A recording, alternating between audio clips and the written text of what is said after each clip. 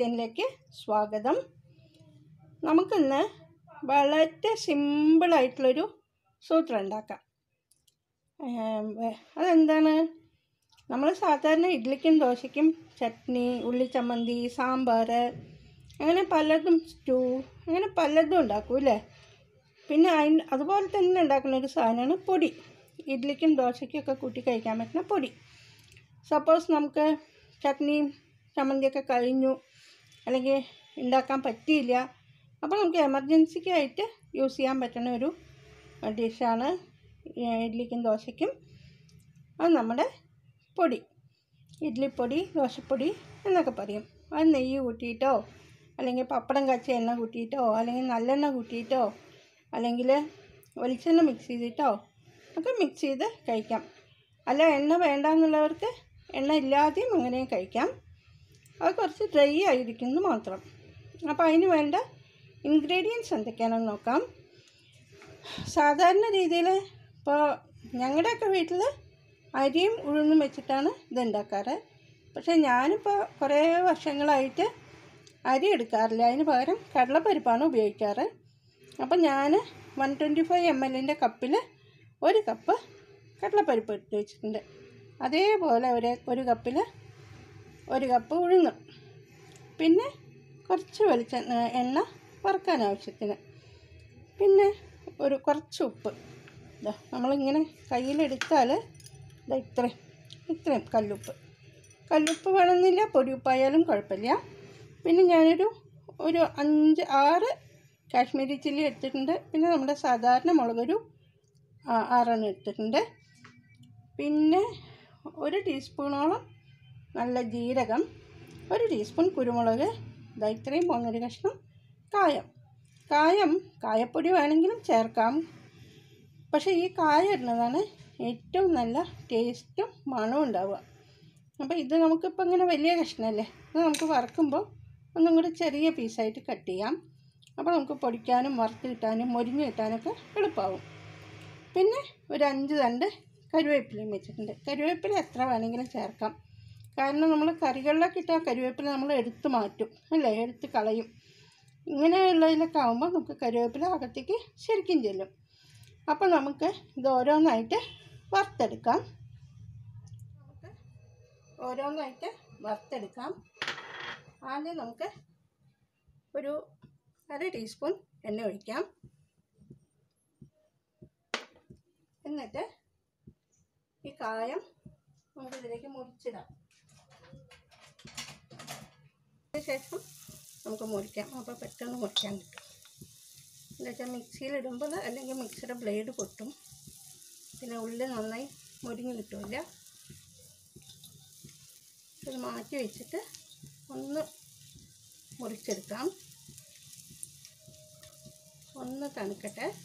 ആ സമയം കൊണ്ട് നമുക്ക് മുളകും ബാക്കി എല്ലാ സാധനങ്ങളും വറുത്തെടുക്കാം.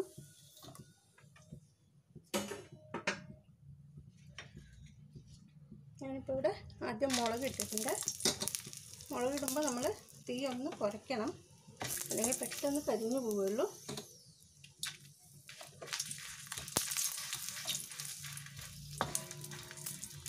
ഈ നല്ല ഹെൽത്ത് വൈസും നല്ലതാട്ടോ. എന്താ വെച്ചാൽ കുരുമുളക് ജീരകം കരുവേപ്പില കായം എല്ലാം അകത്തേക്ക് ചെല്ലില്ലേ? അപ്പോൾ അത് വളരെ നല്ലതാണ് കായം ഞാൻ ചെറിയ ചെറിയ പീസാക്കിയിട്ടുണ്ട് അപ്പോൾ നന്നായിട്ട് നമുക്ക് പൊടിഞ്ഞ് കിട്ടും. അപ്പോൾ നന്നായി ഒന്ന് വറുത്തെടുത്തിട്ട് നമുക്ക് കുരുമുളകും ജീരകമൊക്കെ ചേർക്കാം. ലേശം കൂടെ എണ്ണ ഒഴിക്കാം.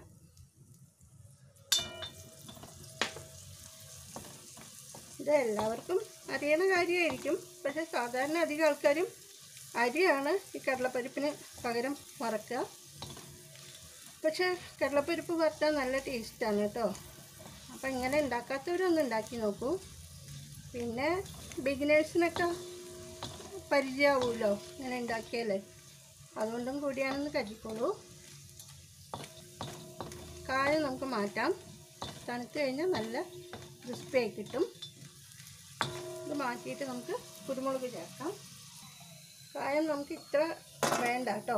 ഇതിലൊരു രണ്ട് പീസ് മാറ്റാം. അല്ലെങ്കിൽ കായത്തിന്റെ കുത്ത് വരുള്ളൂ.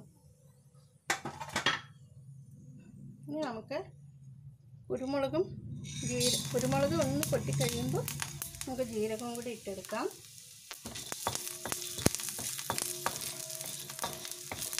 ഒപ്പം തന്നെ ജീരകവും ചേർക്കാം.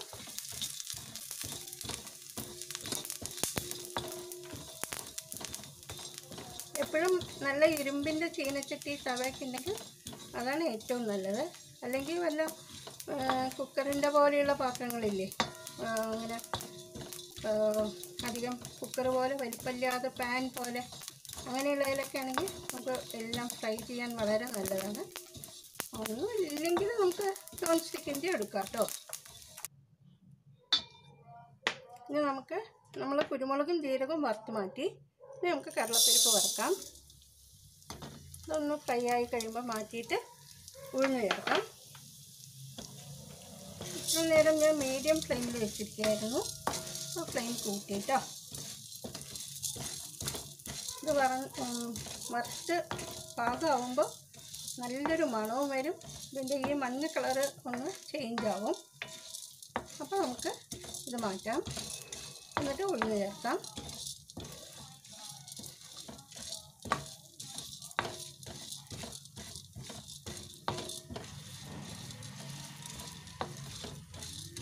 ഈ ഇരുമ്പിന്റെ തവയിൽ നമ്മൾ സ്റ്റീലിന്റെ ഇരുമ്പിന്റെ ഒക്കെ തട്ടുകയാണെങ്കിലേ വല്ലാതെ സൗണ്ട് വരും. അപ്പോൾ നമുക്ക് മരത്തിന്റെ തവി എടുക്കുകയാണ് ഏറ്റവും നല്ലത്.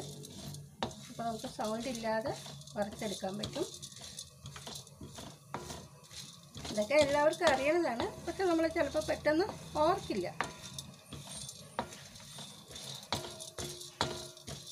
അപ്പോൾ മണം വന്നു തുടങ്ങി.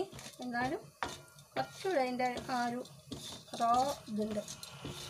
ആ പച്ച ടേസ്റ്റ് നന്നായിട്ട് മാറണം.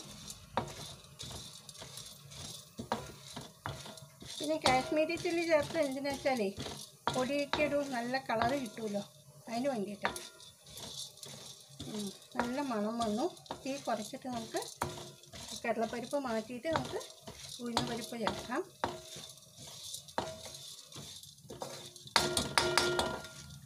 കളറ് മാറി മണവും വന്നു. ഞാനിപ്പോൾ ചെറിയ ക്വാണ്ടിറ്റി എടുത്തിട്ടില്ല ഇത്ര തന്നെ ഞാൻ ഉണ്ടാക്കാറുള്ളൂ കേട്ടോ. എന്താ വെച്ചാൽ ഒരുപാട് പൊരിച്ചു വെച്ചാൽ അതിന്റെ ടേസ്റ്റ് പോകും. ഞാൻ അതുകൊണ്ട് എപ്പോഴും ഇങ്ങനെ ഒരു ചെറിയ ക്വാണ്ടിറ്റിക്ക് ഉണ്ടാക്കുള്ളൂ. ഇത് കഴിയുമ്പോൾ നമുക്ക് വീണ്ടും ഉണ്ടാക്കാം. അപ്പോൾ നമുക്ക് നല്ല ഫ്രഷ് ആയിട്ട് കഴിക്കാമല്ലോ ഇനി നമുക്ക് ഉഴുന്ന് വറക്കാം.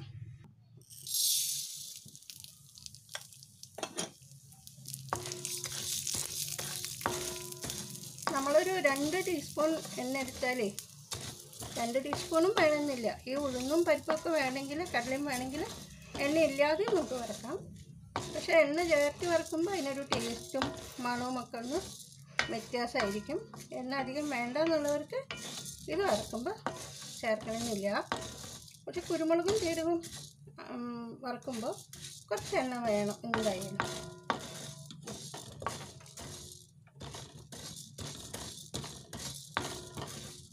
നമ്മുടെ ഉഴുന്ന് നല്ലോണം വറുത്ത് നല്ല മണവും കളറെല്ലാം വന്നു. ഞാനിപ്പോൾ ഫ്ലെയിം കുറച്ചു. ഇനി നമുക്ക് ഇത് മാറ്റാം.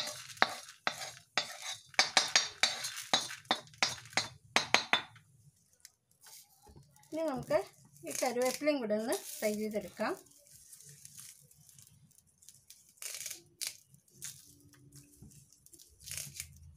അതാണ് ഞാൻ പറഞ്ഞത്. വളരെ ഹെൽത്തിയാണ് ഈ പൊടിയിൽ നിന്ന് ഇതിന്റെ ഒപ്പം നല്ലെണ്ണ മിക്സ് ചെയ്ത് കഴിച്ചാൽ ഏറ്റവും ബെസ്റ്റാണ് അല്ലെങ്കിൽ വെളിച്ചെണ്ണയോ നെയ്യോ ഏതാണ് അവനവൻ ഇഷ്ടം വെച്ചാൽ ചേർക്കാം. ഇതൊന്ന് ഒരു ആ പച്ചപ്പ് മാറിയാൽ നമുക്ക് മാറ്റാം. മാറ്റി കഴിഞ്ഞിട്ട് ഞാൻ എടുത്തു വെച്ച കല്ലുപ്പില്ലേ അതും കൂടെ നമുക്കിതിലൊന്ന് കല്ലുപ്പാകുമ്പോൾ നമ്മൾ ലാസ്റ്റ് ഈ തവയിലൊന്നിട്ട് ഒന്ന് ചൂടാക്കിയെടുക്കും. കല്ലുപ്പ് വേണ്ട എന്നുള്ളവർ ഉപ്പ് പൊടി ഡയറക്റ്റായിട്ട് ചേർക്കാം. ഇതിൽ കഴുകിയതല്ല നമ്മളപ്പോൾ അതിന്റെ വെള്ളത്തിന്റെ ഈർപ്പൊക്കെ ഉണ്ടെങ്കിൽ പോകുകയും വേണം. പിന്നെ ആ പച്ച ഇത് മാറും വേണം. മതി ഇത്രയും ആയാൽ മതി. നമുക്ക് ഇലയും മാറ്റാം. കരുവേപ്പ് ഇനി നമുക്ക് ഇതൊക്കെ എന്റെ അമ്മ ചെയ്യണത് കണ്ടിട്ട് പഠിച്ചിട്ടുള്ളതാണ് ഞാൻ കല്ലുപ്പ് അവസാനം എങ്ങനെ ഇടും. അതൊന്ന് പൊട്ടിക്കഴിയുമ്പോൾ നമ്മൾ തീ ഓഫ് ചെയ്യും. അധികം ഈർപ്പല്ലാതിരിക്കാൻ വേണ്ടിയിട്ടാണ് നമ്മൾ ഉപ്പ് കൂടെ ഒന്ന് ചൂടാക്കുന്നത്. മതി ചൂടായി കഴിഞ്ഞു ഇനി നമുക്ക് വറുത്ത് വെച്ചെല്ലാം തണുത്തിട്ട് നമുക്ക് മിക്സിയിലിട്ട് പൊടിച്ചെടുക്കാം. നമ്മുടെ ഇഡ്ലിപ്പൊടി റെഡി ആയിട്ടോ? ഇഡ്ലിക്കും ദോശയ്ക്കും എന്തിനാ വേണ്ട വെച്ചാൽ കഴിക്കാം. നെയ്യിന്റെ ഒപ്പം നല്ലെണ്ണയുടെ ഒപ്പം വെളിച്ചെണ്ണയുടെ ഒപ്പം ഏതിന്റെ കൂടെ? പിന്നെ പപ്പടം കച്ച എണ്ണയുടെ ഒപ്പം ചിലവർക്ക് കഴിക്കാൻ വലിയ ഇഷ്ടമാവും അപ്പോൾ എല്ലാവരും ഈ രീതിയിൽ ഉണ്ടാക്കാത്തവരൊന്ന് ഉണ്ടാക്കി നോക്കൂ. എന്നിട്ട് ഇഷ്ടപ്പെടുകയാണെങ്കിൽ മാത്രം കമന്റ് ബോക്സിലൂടെ ഫീഡ്ബാക്ക് എല്ലാം അറിയിക്കൂ. പിന്നെ ഫ്രണ്ട്സിനും റിലേറ്റീവ്സിനൊക്കെ ഒന്ന് ഷെയർ ചെയ്യൂ. പിന്നെ ലൈക്ക് ചെയ്യൂ. ആദ്യമായിട്ട് കാണുന്നവർ സബ്സ്ക്രൈബ് ചെയ്യാനും ബെല്ലൈക്കൺ പ്രസ് ചെയ്യാനും മറക്കരുത് കേട്ടോ. അപ്പം നമുക്കിനി നെക്സ്റ്റ് ഒരു പുതിയ വീഡിയോ ആയിട്ട് വരാം. Okay thank you by